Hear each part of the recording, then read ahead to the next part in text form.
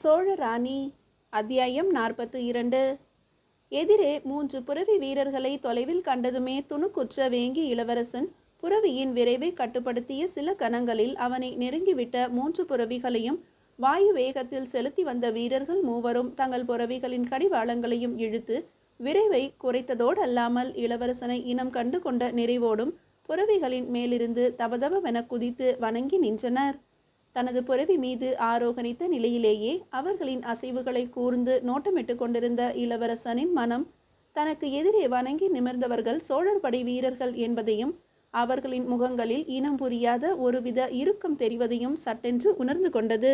அந்த மூன்று வீரர்களும் அதிக ஓய்வும் உறக்கமும் இன்றி தொடர்ந்து பயணம் செய்து வந்திருக்கிறார்கள் என்பதையும் அவர்களின் அழுக்கடைந்த ஆடைகளிலிருந்தும் அவர்களின் மேலும் அவர்கள் பயணித்து வந்த புறவிகளின் மேலும் படிந்திருந்த புழுதியிலிருந்தும் பூரணமாக யூகித்துவிட்ட இளவரசன் என்ன என்பது போல அவர்களின் முகங்களை நோக்கி பார்வையை படரவிட்டான். அம்மூவரில் ஒரு வீரன் இடைக்காட்சியிலிருந்து ஒரு ஓலை சுருளை எடுத்து இளவரசனிடம் நீட்டினான். ஓலை சுருளை அவசரமாக பிரித்து விழிகளை ஓடவிட்ட இளவரசனின் தலைமேல் இடி விழுந்ததைப் போல உணர்ந்தான். அனிச்சையாய் அவன் விழிகள் ஓலையில் வரையப்பட்டிருந்த வரிகளை பூரணமாக படிக்க முடியாத வண்ணம் இருள் சூழ்வதைப் போல உணர்ந்தான். இடைப்பட்ட நிமிடங்களில் அவனை பக்கவாட்டில் வெகுவாக நெருங்கி வந்து தன் புறவியை நிறுத்தி நின்ற மெய்க்காவலன் இளங்கோவின் இதயமும் இரட்டிப்பு விரைவில் துடித்தது. அதே நிமிடத்தில் ஓலையை முழுதும் படிக்க முடியாத மனநிலையோடு ஸ்தம்பித்துவிட்ட இளவரசனும் தன் கரத்தில் இருந்த பட்டோலையை இளங்கோவின் பக்கம் நீட்டினான். ஓலையை வாங்கி விழிகளை சுழலவிட்ட இளங்கோவும் அதிர்ந்தான். தங்கள் புறவிகளையும் மிக நெருக்கமான தூரத்தில் கொண்டு வந்து நிறுத்தியிருந்த சோழர் படையின் உப தலைவர்கள் நால்வரும் ஒன்றும் புரியாத குழப்பத்தில் தவித்தனர். சோழ மாமன்னன் இரண்டாம் ராஜேந்திரன் இயற்கை எய்தி ஒரு வாரம் கழிந்து விட்டதும் இளவரசனான அவன் தம்பி வீர ராஜேந்திர சோழன் முடிசூடிக்கொண்ட விவரங்களும் ஓலையில் கண்டிருந்தது. ஓலையில் சோழ பேரமைச்சரின் கையொப்பமும் புலிச்சின்ன முத்திரையும் இருந்தது. மாவீர மாமன்னனான தாய் மாமன் விண்ணுலகேவிய செய்தி கண்டபின் அதிர்ச்சி அடையாமல் என்ன செய்வான் வேங்கி இளவரசன்? திகைப்பூண்டை மிதித்தவன் போல சிந்தை குழம்பிவிட்ட கங்கை கொண்ட சோழனின் பேரன் சிலை போல அமர்ந்து விட்டான் தனது புறவியின் மீது. இளங்கோ ஓலையில் இருந்த பெருந்துயர செய்தியை மெல்ல கூறினான் தன்னை மிகவும் நெருங்கி நின்ற சோழர் படை உப தலைவர்களிடம் அந்த பேரு வீரர்களும் தங்களின் மாமன்னன் கொப்பத்து போர்க்களத்தில் குருதி வழிய வழிய முடிசூடி கொண்ட ஒப்பற்ற மாவீரன் மண்ணுலகை விட்டு மறைந்துவிட்ட அமங்கல செய்தியை செவி மடுத்ததும் தீயை விழுங்கியதைப் போல திகைத்து விட்டனர். மாமன்னன் ராஜாதி ராஜ சோழ தேவன் அதே போர்க்களத்தில் யானை மேல் இருந்த நிலையிலேயே உயிர் நீத்த மறக்க முடியாத கொடும் போரில் கலந்து போரிட்ட நினைவு நெஞ்சில் குப்பென பொங்கி வர சொல்லொன்னா சோகத்தை அனுபவித்த தொண்டை மண்டல பகுதியை சேர்ந்த ஆகவே முதிர்ந்த சோழர் படை உப தலைவனின் தழும்புகள் நிறைந்த உடல் ஒரு கணம் பதறி துடித்தது. கங்கையும் கடாரமும் கொண்ட மாவீர மாமன்னன் கோபரகேசரி ராஜேந்திர சோழனின் தீரம் நிறைந்த புதல்வர்களில் ராஜேந்திரனின் மறைவு செய்தி பல நிமிடங்கள் அவர்களை சிலைகளாக்கி சிந்தை உரைய வைத்ததில் ஒன்றும் வியப்பில்லைதான். ஒவ்வொருவரின் மனமும் தங்கள் போக்கில் தங்களுக்கும் மாமன்னனுக்கும் தனிவித்த தொடர்புகளை முக்கிய சம்பவங்களை இந்த கணத்தில் எண்ணி பார்த்து ஏக்க பெருமூச்சுக்களையும் துக்க வெளிப்பாடுகளையும் வெளியிட்டன. தொண்டை மண்டலத்தை சேர்ந்த சோழர் படை உப தலைவனின் இதயத்துள் பல ஆண்டுகளுக்கு முன்பு நிகழ்ந்த கொப்பத்து போர்க்களம் திரை விரித்தது. மேலை சாளுக்கிய ஆகம வல்லனது பெரும் படையும் சோழர் படையும் இரு கடல்களைப் போல ஆவேச குரல் எழுப்பி மோதிய காட்சி அடடா! ஆயிரம் ஆயிரம் யானைகளும் புறவிகளும் காலாட்படைகளும் பல்வேறுபட்ட பிரிவினரும் பகை முடிக்க மோதிக்கொண்டதின் விளைவாக அருந்து விழுந்த தலைகளும் உடல் உறுப்புகளும் தலைகள் அறுபட்டதால் முண்டங்கள் மட்டும் குருதி கொப்பளிக்க கூத்தாடி விழுந்த கோலங்களும் வேல்களும் அம்புகளும் காற்றை கிழித்து பறந்து ஆயுத மழை பொழிந்த அபூர்வ நிகழ்வும் சுழன்று போடிட்ட ஆயிரம் ஆயிரம் வாட்களின் உராய்வினால் எழுந்த நாராச ஒளிகளும் பூமி அதிர ஓடிய யானைகளின் பிளிரல்களும் விழிகளில் அம்புகள் தைத்ததால் மிரண்டு பிளிரி தங்கள் வீரர்களையே மிதித்து துவைத்தபடி ஓடிய யானைகளின் வித்தியாசமான பிளிரல்களும் படைப்புறவிகளின் பலதரப்பட்ட கனைப்பொலிகளும் சங்குகளும் எக்காலங்களும் விட்டு விட்டு முழங்கி பாரத பெரும் போரை நினைவுபடுத்திய போர்க்கள காட்சிகள் அந்த முதிய படைத்தலைவனின் வலிய இதயத்தில் வரிசையாக வலம் வந்தன. மேலை சாளுக்கிய படைக்கு ஆகம வல்லனும் சோழ படைக்கு பேராற்றல் படைத்த மாமன்னன் ராஜாதிராஜனும் தலைமை தாங்க இரு பக்கத்திலும் ஏராளமான வீரர்கள் மடிந்து மண்ணை முத்தமிட சமநிலையில் உக்கிரமாக நடந்த போரில் நிகழ்ந்த விபரீதம் இந்த கணத்தில் அந்த படைத்தலைவன் நெஞ்சில் விரிந்தது. ஆம் மேலே சாளுக்கியரின் படைப்பிரிவு ஒரு முகமாக திரண்டு பெருவீரன் ராஜாதிராஜன் அமர்ந்து போரிட்ட யானையை சூழ்ந்து நின்று தாக்கிற்று. அந்த பெரு யானையும் அளவற்ற ஆயுதங்களை தாங்கி குருதி கொப்பளிக்க அந்த குந்தள நாட்டு கொப்பத்து போர்க்களத்தில் வேறற்ற மரம் போல சாய்ந்தது. எதிரிகளின் அம்புகள் மார்பிலே பாய்ந்துவிட பெருவீரன் மாமன்னன் ராஜகேசரி ராஜாதிராஜ சோழதேவனும் தனது யானையோடு சேர்ந்து வீழ்ந்தான். தலைமை தாங்கி போரிட்ட மாமன்னன் மண்ணில் வீழ்ந்ததும் ஒரே ஆகாகாரம் எழுந்தது. அதுவரை மூர்க்கமாக போரிட்டு கொண்டிருந்த சோழர் படை அதிர்ச்சியுற்று கலையத் தொடங்கிய அவலம் நேர்ந்தது. அதுவரை சற்று தொலைவில் இருந்த பாடி வீட்டில் தங்கியிருந்த அப்போதைய இளவரசனான இரண்டாம் ராஜேந்திர சோழதேவன் செய்தியை செவிமடுத்தும் வில்லிலிருந்து பறந்த கூர் வாள் போல தனது புறவி மீது தாவி ஏறி பறந்து தன் மாவீர தமையன் மண்ணில் கிடந்த போர்க்களத்தை அடைந்தான். நானா திசையெங்கும் சிதறியோடிய சோழர் படையை தனது ஆளுமை மிக்க குரலால் தடுத்து நிறுத்தி ஒருங்குடன் சேர்த்தான். அடிபட்ட நாகமென சோழர் படை முன்னிலும் மூர்க்கத்துடனும் முனைப்புடனும் மேலே சாளுக்கிய படையுடன் மோதியது. யமனே எழுந்து வந்ததைப் போல திரும்பிய திசையெங்கும் எதிரிகளின் தலைகளை சீவினான் இரண்டாம் ராஜேந்திரன். புறவியை விட்டு தனது யானை மீதேறி எதிரிகளை துவம்சம் செய்ய தொடங்கினான். கங்கை கொண்ட சோழனின் இரண்டாம் புதல்வனான இளவரசன். முன்பு போலவே இளவரசனின் யானையையும் சாளுக்கியர்கள் பல படைத்தலைவர்கள் சூழ்ந்து நின்று சரமாரியாக அம்புகளை எய்தினர். யானையின் நெற்றியிலும் அம்புகள் தைத்தன. ஆனாலும் சாளுக்கிய படைத்தலைவர்கள் ஜெயசிங்கன் புலிகேசி தசவன்பன் அசோகையன் ஆரையன் மொட்டையன் நன்னி நுளம்பன் என்போரை இரண்டாம் ராஜேந்திர சோழன் கொன்றான். அவனின் திரண்ட தோள்களிலும் பகைவரின் கூர் அம்புகள் தைத்து குருதி வழிய விட்டன ஆகமவல்லனின் கூறிய அம்புகள் அவன் தொடையிலும் பாய்ந்து துன்புறுத்தின. அம்புகள் தைக்க தைக்க அவன் மென்மேலும் அடலேராக மாறி ஆவேச போரில் ஈடுபட்டான்.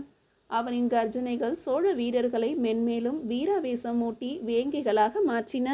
அதன் முடிவு கொப்பத்து போர்க்களத்தில் ஆகமவல்லனும் எஞ்சி நின்ற அவன் படைத்தலைவர்கள் சிலரும் தோல்வி கண்டு அஞ்சி புறமுதுகிட்டு ஓடினர். வெற்றி தேவியை மணந்த மாவீரன் ராஜேந்திரன் அதற்கு முன்பு அரச பரம்பரையினர் யாரும் செய்தறியாத வண்ணம் பகைவரின் அம்புகள் தைத்த புண்களிலிருந்து செந்நீர் ஒழுகிய நிலையில் விஜயாபிஷேகம் செய்து கொண்டு சோழ சக்கரவர்த்தியாக முடிசூடிக் கொண்ட மறக்க இயலாத ஒப்பற்ற காட்சி இந்த கணத்திலும் அந்த சோழர் படை உப தலைவனின் இதயத்துள் சிவந்து ஒளிர்ந்தது. அந்த கிருஷ்ண யாற்றங்கரையில் கொப்பத்து போர்க்கள காட்சிகள் மென்மேலும் அனுமன் வாளாக அவன் நெஞ்சில் நீண்டன. அந்த போர்க்களத்தில் சாளுக்கியரின் சத்ரு பயங்கரன் கரபத்திரன் மூலபத்திரன் என்ற பட்டத்து யானைகளையும் வராக சின்ன கொடியையும் சக்தி யவ்வை சாங்கப்பை முதலான கோப்பெருந்தேவியரையும் கைப்பற்றிய நினைவுகளும் போர்க்களத்தில் கைப்பற்றிய கணக்கற்ற யானைகளும் புறவிகளும் ஒட்டகங்களும் பிற பொருட்களும் அணி அணியாக வலம் வந்தன. வாழ்நாள் முழுவதும் தனது தமையனுக்கு உற்ற துணையாய் நின்று தோள் கொடுத்தவன் மாமன்னன் ராஜாதிராஜனின் காலத்தில் நிகழ்ந்த எல்லா போர்களிலும் முன்னின்று போரிட்டு தமையனிடம் பரிசுகளும் பாராட்டுகளும் பெற்ற மாவீரன் இரண்டாம் ராஜேந்திர சோழதேவன் மறைந்துவிட்ட செய்தியை எளிதில் எதிர்கொள்ள முடியாமல் தவித்தான் அந்த சோழ நாட்டின் தொண்டை மண்டலத்தை சேர்ந்த முதிய படைத்தலைவன். மேலை சாளுக்கியரின் கல்யாணபுரத்தை வென்று வெற்றி தூண் நிறுவி புலி சின்னத்தை பொறித்த கடாரம் கொண்ட சோழ மாமன்னனின் மாவீர புதல்வர்களான முதலாம் ராஜாதிராஜனும் இரண்டாம் ராஜேந்திரனும் தொண்டை மண்டலத்தில் இருந்த ஆமூர் கோட்டத்தை கல்யாணபுரம் கொண்ட சோழ கோட்டம் என்று பெயரிட்டு அழைத்ததும் இந்த கணத்தில் அவன் நினைவில் எழுந்தது. ஆழ்ந்த சோக பெருமூச்சொன்றும் அவன் நாசியிலிருந்து வெளியேறியது.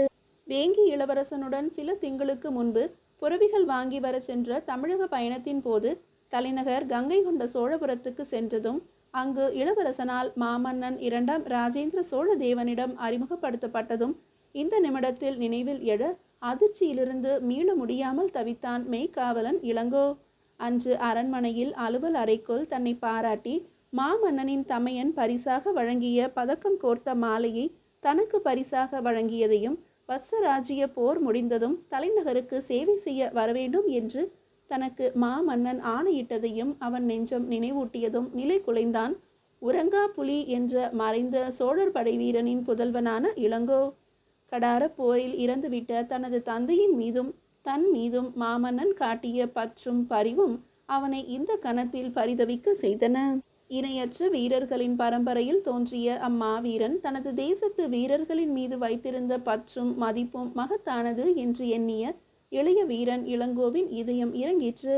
அதே கணத்தில் தன்னையே இத்தனை வருத்தும் இந்த செய்தி இளவரசனை எந்த அளவு வருத்தும் என்று எண்ணிய அவன் மனம் வேங்கி இளவரசனின் மனநிலையை எண்ணி பரிதாபப்படவும் செய்தது.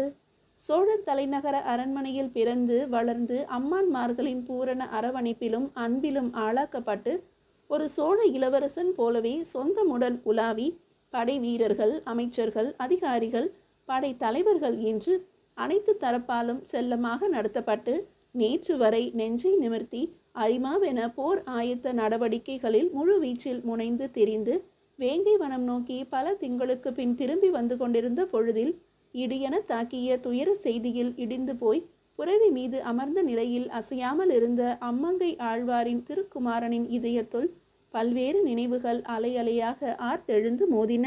கடைசியாக தனது அம்மான் மாமன்னன் இரண்டாம் ராஜேந்திர சோழன் தலைநகர் கங்கை கொண்ட சோழபுரத்தின் சோழ கேரளன் திரு மாளிகையில் உள்ள அலுவல் அறையில் அமர்ந்து உதிர்த்த சொற்கள் அவன் மனச்செவிகளில் இந்த கணத்தில் பாய்ந்து எதிரொலித்தன.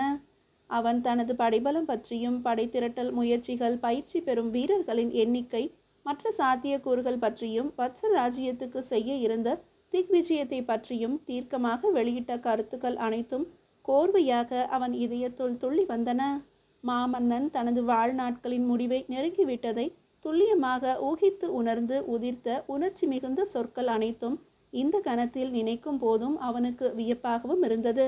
தான் வத்சராஜ்ய போர் தொடங்கும் போது சோழ படைகள் மேலை சாளுக்கியரின் தெற்கு எல்லையை தாக்க ராஜதந்திரமாக உத்தரவிட்ட தனது அம்மானின் தீர்க்க தரிசனத்தையும் தான் மறைந்து விட்டாலும் தனது உத்தரவு தவறாது அமலாக்கப்படுவதற்கான உத்தரவாதத்தையும் உறுதிமொழியையும் தனது தம்பி வீர ராஜேந்திரனிடம் கோரி பெற்று நிறைவடைந்ததையும் நினைத்து நன்றியுணைவில் நனைந்தான் அந்த இளைய வீரன். சோழ இளவரசன் வீர ராஜேந்திரனிடம் நம் மருமகன் ராஜேந்திரனின் வத்சராஜ்ய போர் முடிந்து அவன் வெற்றி வீரனாக தமிழக விஜயம் செய்யும் போது அந்த கோலாகல காட்சியை காண நான் உயிருடன் இருப்பேன் என்பது நிச்சயமில்லை தம்பி என்ற சொற்களை உதிர்த்ததும் திரும்ப திரும்ப அவன் செவிகளில் அறிந்தன அவன் விடைபெற முனைந்தபோது ஓஹோ அத்தனை விரைவிலா? அரண்மனையில் அந்த புறத்தில் காண வேண்டியவர்களை கண்டுவிட்டாயா? என சூசகமாக கேட்டதும் இந்த நிமிடத்தில் அவன் இதயத்தை பிழிந்தது. தனது அம்மான் மகள் மதுராந்தகையின் தற்போதைய மனநிலை எவ்வாறு இருக்கும் என்று எண்ணி துயருற்றான் வேங்கி இளவரசன். அந்த பையங்கொடியின் துயரத்தை எண்ணியும் அவனின் காதல் நெஞ்சம் கவலை கொண்டது. அவளை உடனே சந்தித்து ஆறுதல் கூற வேண்டும் என்றும் இதயம் பரபரப்படைந்தது. வத்சராஜ்ய போருக்கு பின் தன் முறை பெண்ணை சந்திக்கலாம் என்று எண்ணி இருந்த முடிவை மறுபரிசீலனை செய்ய வேண்டி வந்துவிட்டதையும் எண்ணி குழம்பியது அவன் உள்ளம். துன்ப சுமையும் கவலையின் இரக்கமும் பலவித உணர்ச்சிகளும் ஒருங்கே தாக்கியதால் நேர்ந்த குழப்பமுமாக அவன் உறைந்து போயிருந்ததை மெல்ல மாற்ற எண்ணிய தொண்டை மண்டலத்தை சேர்ந்த முதிய படைத்தலைவன் ஓலை கொண்டு வந்திருந்த சோழ தூதுவர்களை நோக்கி வேறெங்கும் நீங்கள் ஓலை கொண்டு போக வேண்டுமா வீரர்களே? என்ற வினாவை மெல்ல தொடுத்தான். ஆம் ஐயா வேங்கி மன்னருக்கும் ஓலை கொண்டு போகிறோம் என்றான் அந்த மூவரில் ஒருவன்.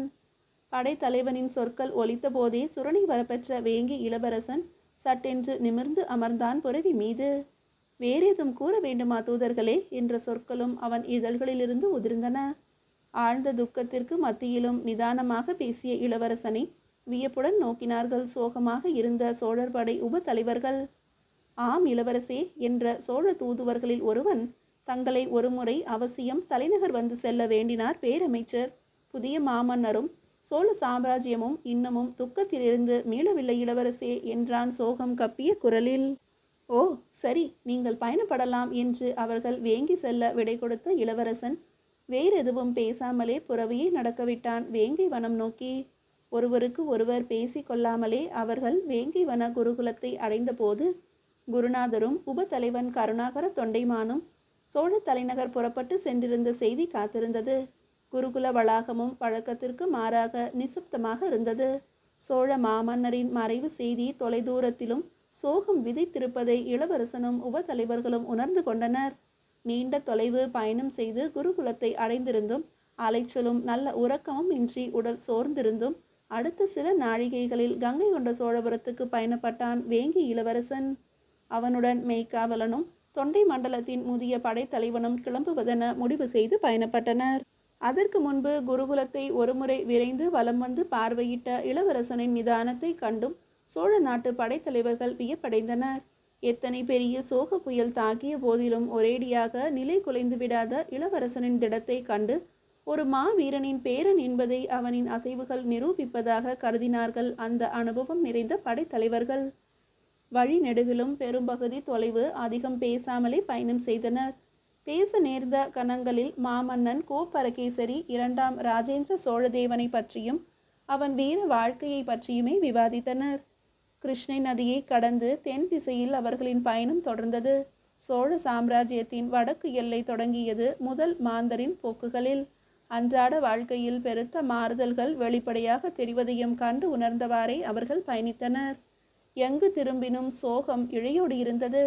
மாந்தரின் சகஜ வாழ்க்கை பெரிதும் பாதித்தும் ஸ்தம்பித்தும் இருந்தது. உழவு பணிகள் வணிகரின் நடமாட்டங்கள் ஏதும் நடைபெறவில்லை.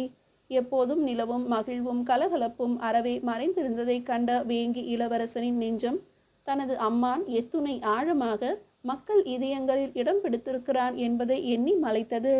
மனிதர்கள் வாழும் நாட்களை விட மறைந்த பின்னர்தான் அவர்களின் முழுமையான கீர்த்தியும் புலப்படுகிறது என்கிற உண்மையையும் அவன் இதயம் உணர்ந்தது. அப்படி உணரும் கணங்களில் பெரும் சோகத்திற்கு மத்தியிலும் இனம் புரியாத பெருமை உணர்விலும் நிறைந்தது. எதிர்வரும் காலத்தில் தானும் தனது பாட்டனைப் போலவும் அம்மான்மார்களைப் போலவும் மக்களின் மனங்களில் மங்காத இடத்தை பிடிக்கும் வண்ணம் வாழ வேண்டும் என்கிற படிப்பினையையும் சங்கற்பத்தையும் மானசீகமாக மனதிற்குள் கொண்டான் இளவரசன். மீதியை அடுத்த அத்தியாயத்தில் காணலாம்.